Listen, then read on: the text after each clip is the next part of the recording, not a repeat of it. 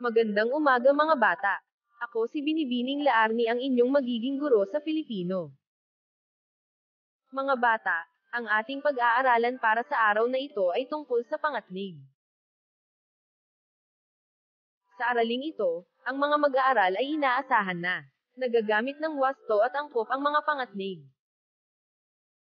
Mga bata, halina't basahin natin ang usapan ng dalawang magkaibigang sina Aaron at Mikay.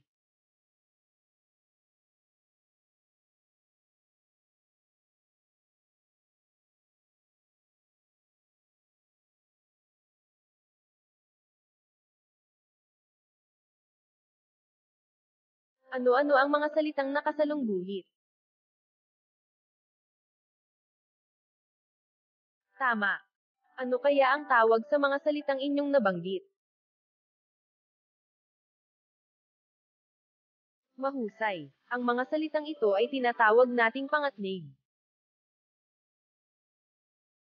Alamin naman natin ang kahulugan ng pangatnig. Ang pangatnig ang tawag sa mga kataga o salitang ginagamit upang pag-ugnayin ang dalawang kaisipan, salita, parirala, o pangungusap. Ginagamit din ito upang matukoy ang nais na ipahayag sa mga kinakausap. Halimbawa, subalit, sapagkat, pati, pero, bagamat, samantalang, ngunit, ni, datapwat, dahil, saka, at, habang, para, kung, o, at sakali. Mayroon tayong dalawang pangkat ng pangatnig. Ito ay ang pangatnig na nag-uugnay ng mga sugnay na magkatimbang.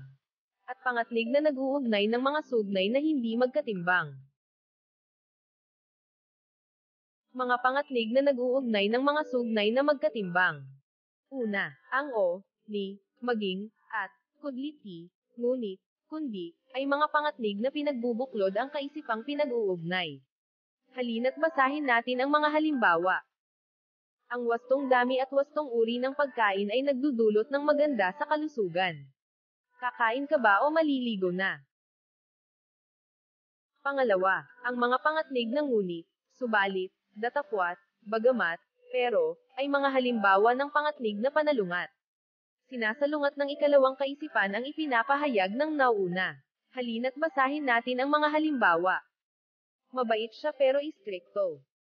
Matalino siyang bata subalit maingay sa klase.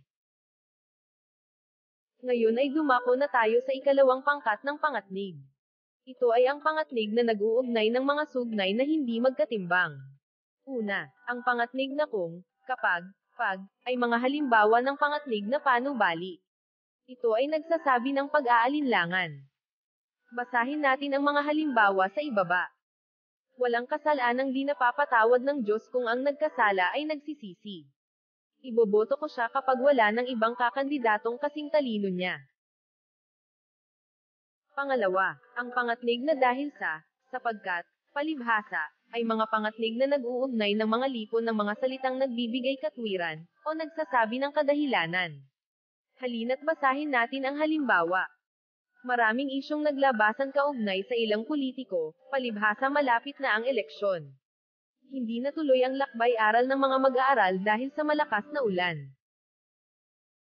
Pangatlo, ang pangatnig na kaya, kung gayo, na, ay ginagamit upang linawin o magbigay linaw sa isang sitwasyon o paliwanag. Basahin natin ang mga halimbawa sa ibaba.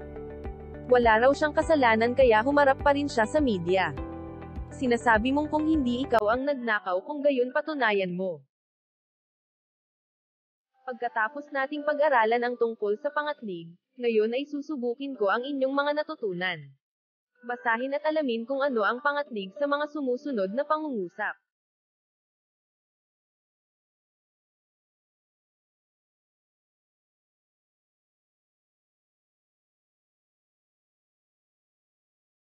Magaling. Ang mga pangatnig ay, at, at dahil sa.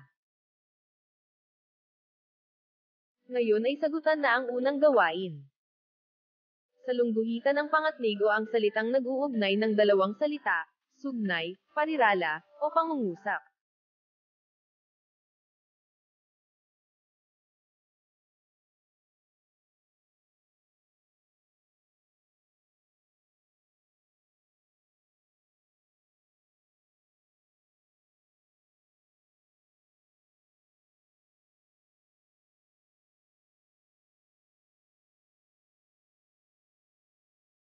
Sagutan ang ikalawang gawain.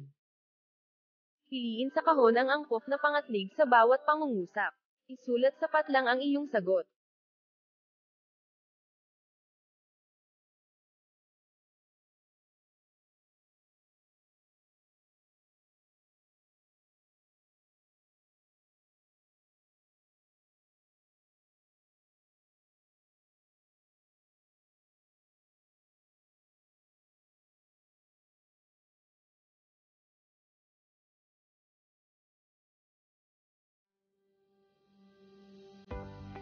Sagutan ang ikatlong gawain.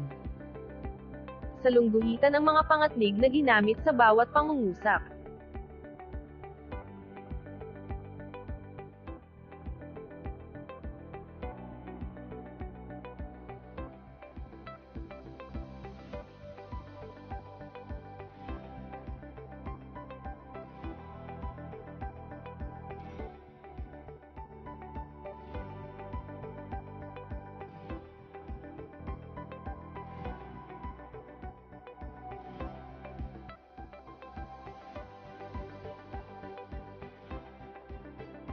Sagutan ang ikaapat na gawain. Lumikha ng isang panalangin para sa ating bansa gamit ang mga pangatnig. Bilugan ang mga pangatnig na ginamit. Maaring gamiting gabay ang rubric sa ibaba sa pagbuo ng panalangin.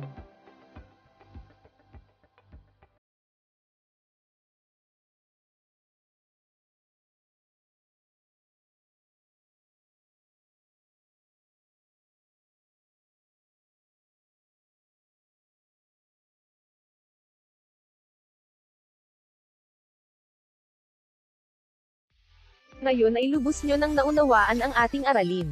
Hanggang sa muling pagkikita, paalam mga bata.